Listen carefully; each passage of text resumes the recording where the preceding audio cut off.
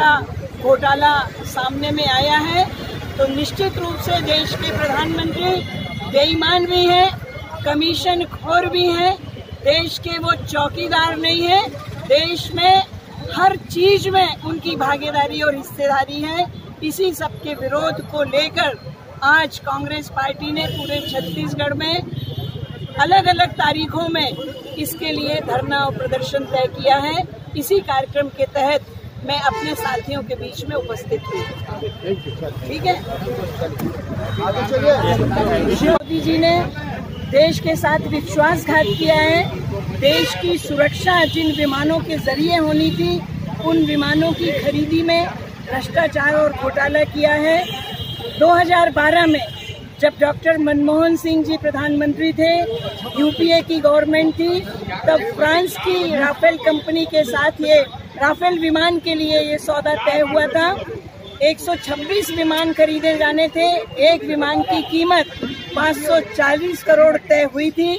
2015 में नरेंद्र मोदी जी ने 126 विमान घटाकर विमानों की संख्या 36 कर दी, जो एक राफेल विमान 540 करोड़ में खरीदा जाना था।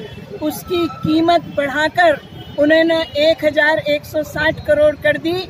एक विमान पर 1100 करोड़ से ज़्यादा का भ्रष्टाचार किया है। और भ्रष्टाचार तो भ्रष्टाचार जो टेक्निकल व्यक्ति सक्षम नहीं है जिसने कभी कोई हवाई जहाज़ से संबंधित कोई काम नहीं किया हो अपने दोस्त उद्योगपति मित्र श्री अनिल अंबानी जी जिन्होंने दो हफ़्ते पहले इस डील से अपनी रिलायंस डिफेंस नाम की कंपनी बनाई थी उसको उसका ठेका दे दिया।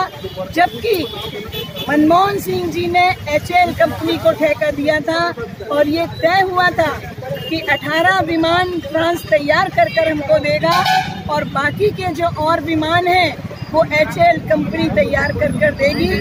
तो ये देश की सुरक्षा से खिलवाड़ है, इसमें भ्रष्टाचार है। देश के साथ, देश की जनता के साथ बहुत बड़ा धोखा और अन्याय है।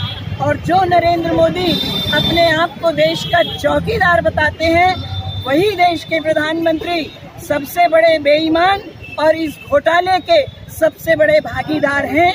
इन्हीं विषयों को लेकर हमारे प्रदेश अध्यक्ष माननीय श्री भूपेश बघेल जी ने हर ज़िले में धरना प्रदर्शन करने का आयोजन करने का एक कार्यक्रम हम सभी कार्यकर्ता साथियों को दिया है। इसी के संदर्भ में आज बिलासपुर ज़िले में ये कार्यक्रम संपन्न हो रहा है और मैं अपने साथियों के साथ इस धरना प्रदर्शन में शामिल होने के लिए उपस्थित हुई हूँ।